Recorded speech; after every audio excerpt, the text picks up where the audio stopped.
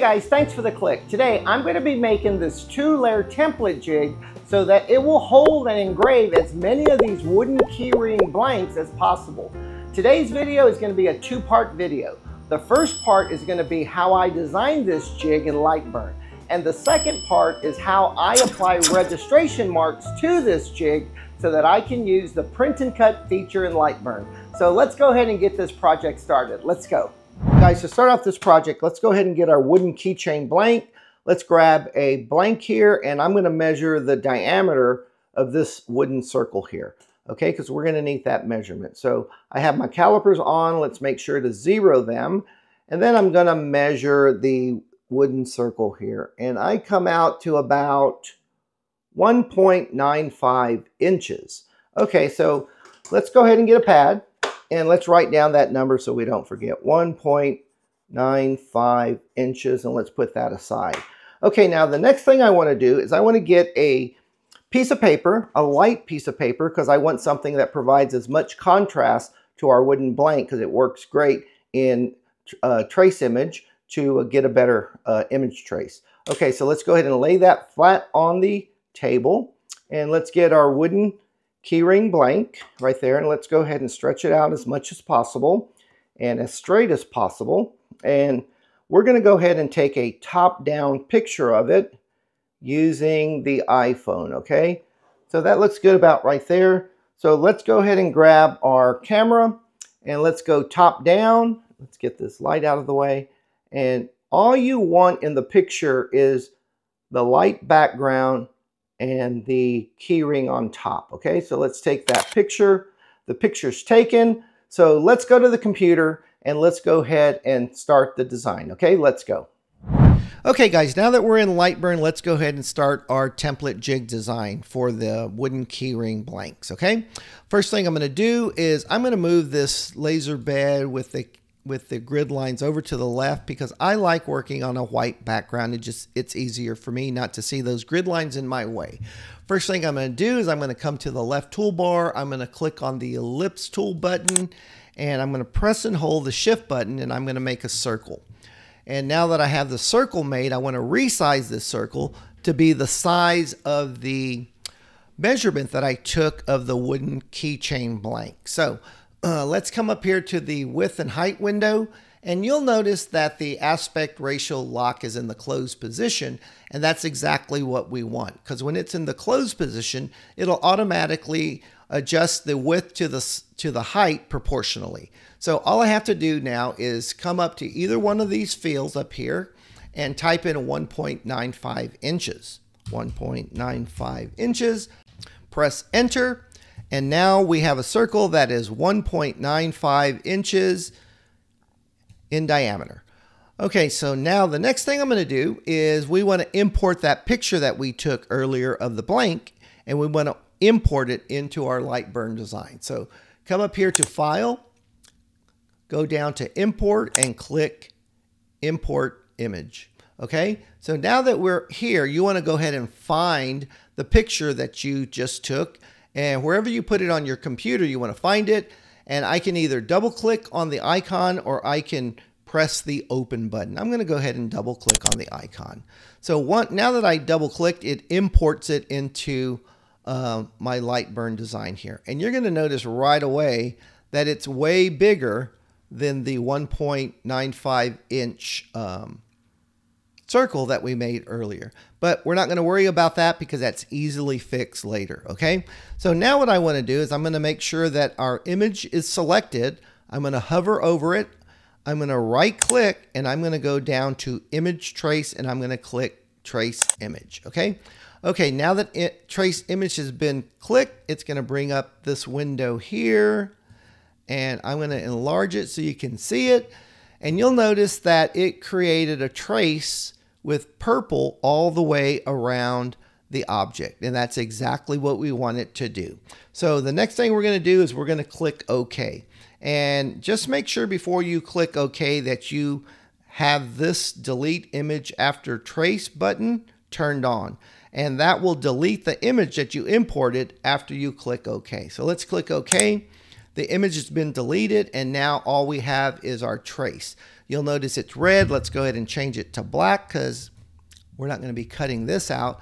And let's go ahead and rotate it just a hair so that it can be straight up and down as possible.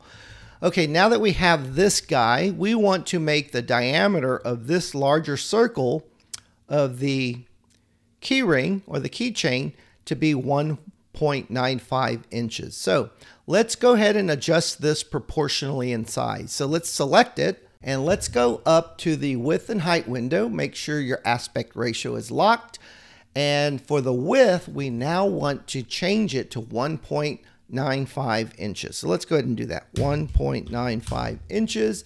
And this is going to adjust it proportionally. So when I click enter, it has now reduced itself to the diameter that is 1.95 inches. And to give that a quick test, let's go ahead and select the circle that's 1.95 inches and let's move it over. Once you get close, we're going to move it. So using your arrow keys, if you move your arrow keys left and right, up and down, you'll notice you don't have very much control over it. But if you want some really good micro control of your movements, press and hold the shift button, press and hold the control button, and now when you press on your directional arrow keys, you now have a lot more control over the movement of your circle. So let's go ahead and move it right about there. So that's perfect, guys. We got the, the image trace to be the same size as our 1.95 inch circle. Okay, so now that we got that done, we're ready to make our next shape, okay? So let's go ahead and click the rectangle button over here on the left toolbar. Let's click it. And we're gonna go ahead and make an, out, uh, an outline of this leather strap. So this doesn't have to be precise. Uh, the only thing that had to be precise was this circle. So let's go ahead and make a rectangle around the leather strap. Okay, so we have it right there. Let's click here. And now let's just move the left and right side of the rectangle closer to the strap. Okay, doesn't have to be perfect. Get it about right there. And let's go ahead and change the color to red. Okay, so now that we have that done, we have our two shapes. Now, the next shape we have to make is a circle that's going to go around this metal key ring up here. So let's click the circle tool and press and hold the shift button and let's make a circle. Okay. And let's go ahead and put that over here. And this can be a little bit bigger than it needs to be. So let's go ahead and adjust it and let's go ahead and move it. That's a little too tight right there. I'm going to make it just a little bit bigger so that we can have freer placement of that metal keyring. Let's make it just a tad bigger, right about there. And let's move it. Okay, guys, that's it. We have our three shapes that's, that's going to cut out our template for the uh, blank. So now let's go ahead and select the three shapes. Let's click the circle. Let's hold, shift, hold the shift button Let's click the rectangle and having the shift button pressed, I'm going to select the third object, which is the bottom circle. Let's right click. Let's go to duplicate and let's let's move that over to the left. Okay. And now that it's moved over, now that all three objects are selected, let's come up to this um, align vertically tool. So come up here, click on it, and let's click the middle one, align the center. And this is gonna align everything vertical. So you'll see some slight movement when I click it. Ready? Click, and it moved just a little bit. So these three objects now are perfectly aligned, and that's exactly what we want. So next thing we're gonna do is we need to cut out some of these lines. So um, let's come over to the cutaway tool or the scissor tool. Let's click on it.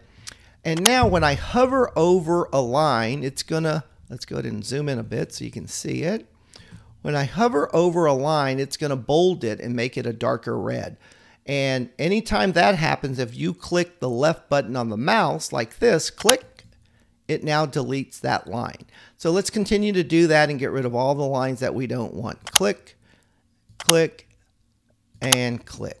Okay guys, so now that we have this done, we have the shape of our, our template. So I'm gonna go ahead and select this and I'm gonna send it to the laser and we're gonna cut it out first and do a test fit just to make sure that it fits, okay? I'm off to the laser. Be back in a second.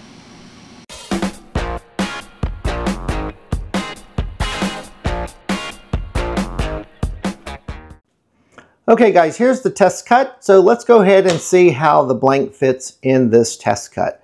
So I'm going to place it in there and right away you notice that it is looking pretty good. This bottom piece isn't moving much at all. However, the only thing I don't like about this is that this leather band here is causing this part of the wooden blank to not be flush with the tabletop. It is coming up in an upward direction. And I don't really like that too much because I'm afraid that uh, this piece might uh, come in contact with the autofocus pin. So uh, we're going to have to correct that. So I'm going to have to make this jig a two level jig. So what I'm going to do is I'm going to go ahead and create a bottom part that has a hole a rectangular hole that lines up with this piece that is going to be lined up about here so that this leather band can fall into that hole which will make this uh, wooden disc lie flat and flush okay so let's go back to Lightburn and add that second um, rectangle so that the leather band can fall into it and everything will be nice flat and flush okay let's go Okay guys, now that we're back in Lightburn, let's go ahead and insert that rectangle that I was talking about earlier so that the band can fall into the hole.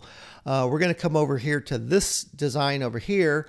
I'm going to click the create rectangle button over here on the left toolbar and I'm going to make a rectangle that's a little bit larger than the original rectangle that we made, okay? That should do it right about there, okay? So now that we have this rectangle, let's go ahead and move it over to the left, right about there. And we're going to go ahead and select these two shapes. And we are going to do a vertical alignment of them. So let's click on Align V Center. And now these two shapes are aligned. So now we're ready to make our jig and you'll see where I'm going from here. So let's go to the next step, okay? And just like I did before, I'm going to go ahead and cut out a test piece first to ensure that this layer fits correctly with the top layer. So now I'm just going to remove the keyring shape and I'm going to leave the rectangle. And when this piece is cut, it should line up perfectly with the top layer. So let me go ahead and send this job to the laser, then I'll return to the workbench. Let's go.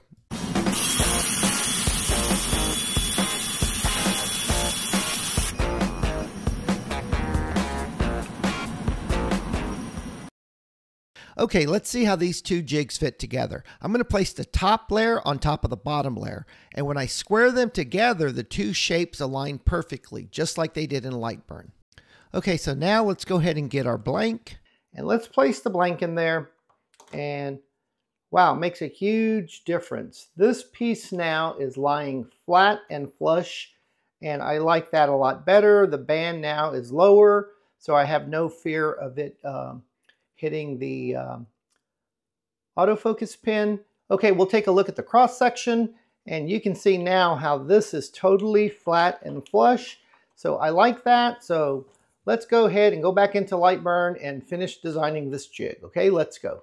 Okay, now it's time for me to place this shape into the bigger piece that's going to hold all the blanks. I already have two pieces of MDF that are 18 by 10 inches that I'm going to use for this jig. So I'm going to make a rectangle that's the same size, 18 by 10 inches.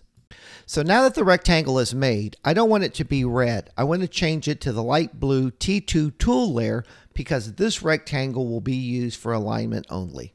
Okay, so now what I'm going to do, we don't need this guy anymore. So let's go ahead and move it out of the way and we'll come back over here. Okay, now I'm going to go ahead and group these two objects together. So I'm going to go ahead and group them. And I'm going to drag this guy down to the bottom right corner right about there. So now I want to copy and paste as many of these shapes into this 18 by 10 inch template jig. And to do this easily, I will use the Create Grid Array tool. This tool will quickly allow me to copy my shape or object into spaced columns and rows. This tool provides a lot of options, but I'm just interested in the spacing size and the number of rows and columns. So let's get started with this. So now I'm going to click on the Create Grid Array tool on the left toolbar, and it's going to bring up this window right here. And now I want to start copying this shape into a vertical column. So I'll look at the vertical side of this window. It's on the right side. And I'll look for the Y spacing fill. This value will set your spacing size. It's currently set for 0.24 inches, which is okay for me. But if you want more or less spacing, enter in that number here.